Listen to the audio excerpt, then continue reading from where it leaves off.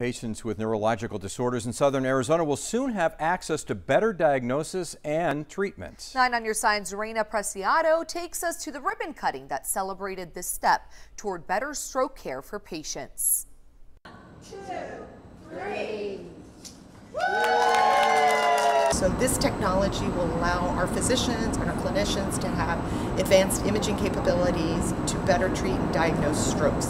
Monica Vargas with Carondelet St. Joseph's Hospital says the hospital's new interventional radiology lab will give doctors access to more detailed information about what is happening in a stroke patient's brain. They can then use that data to treat patients more effectively. It's a new tool uh, that's going to allow us to provide care that's unrivaled here in southern Arizona. That tool will help doctors treat serious neurological problems, from emergency stroke care to blood clot removals with minimal invasion. Their only chance at survival is to get to a place like this where we have these types of tools.